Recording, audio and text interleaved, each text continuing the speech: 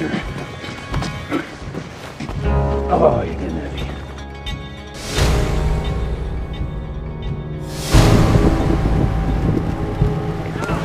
What you doing? Well, no, no, no!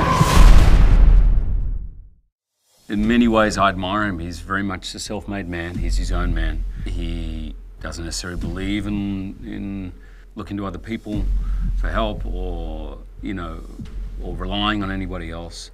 He's prepared himself to look after his family, and his dedication to his family is absolutely paramount and inscrutable. Nothing can touch it. Where are his sisters? Who's very much used to being in control of himself and his life and has some secrets, some dark secrets.